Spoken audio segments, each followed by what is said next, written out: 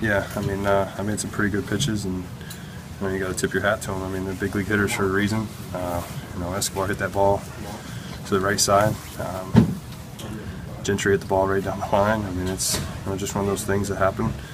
Uh, very, you know, okay with uh, the way things went, but you know, I just can't be giving away free passes either.